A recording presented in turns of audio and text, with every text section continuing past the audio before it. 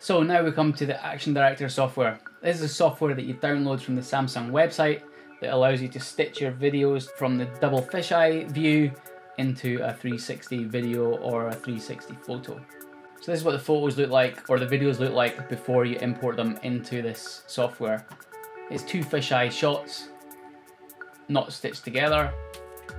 When you import them into the software, I'll show you how to do that. Import media files, select the images or the videos that you want to import in, hit open, they appear in your media library here. Now, photos come in instantly, but videos take a little bit longer.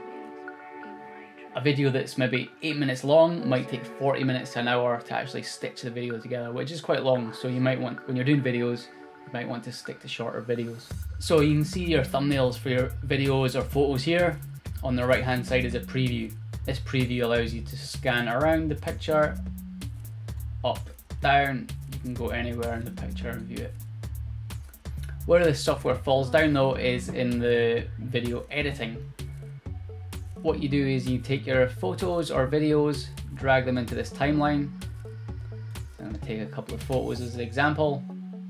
You can change the time that these um, photos are shown, change the duration settings, or you can put videos in here and what it'll do is output it as a video.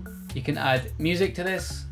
The way you do that is go to the music, click it, and what it'll do is you can search your machine for any audio that you want to put as a soundtrack. You can mix the audio with the video soundtrack with the more music, more video option, toggle here.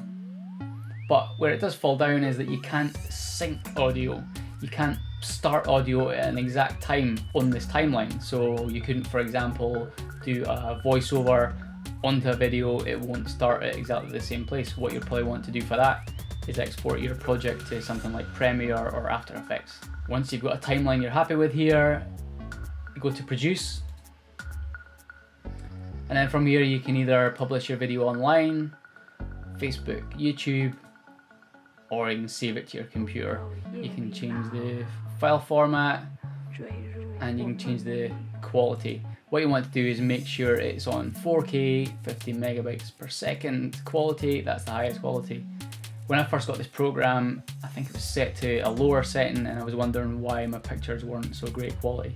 To start your render, hit start, select where you're saving it to on your computer, hit start. So this area here shows you how much free space you've got on your computer when you start to render the file, it shows you how much time is remaining and how much time is elapsed in the render.